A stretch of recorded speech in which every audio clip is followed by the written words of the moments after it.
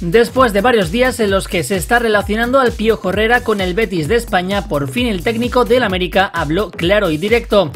Lo hizo en el programa español El Chiringuito, desde donde lo contactaron para hablar sobre su posible fichaje por el Real Betis, en el que militan los mexicanos Guardado y Lainez y el ex azulcrema Guido Rodríguez. Y Miguel Herrera no escondió cuál es ahora su sueño.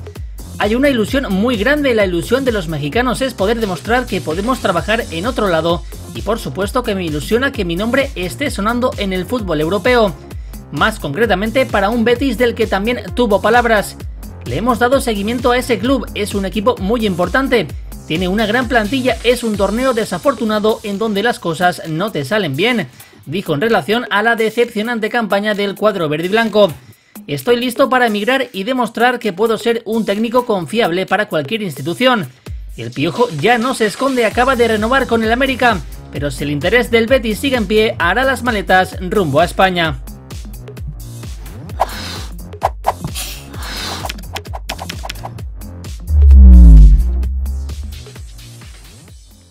Ya que nos encontraste, no nos pierdas. Suscríbete a nuestro canal de YouTube de Telemundo Deportes.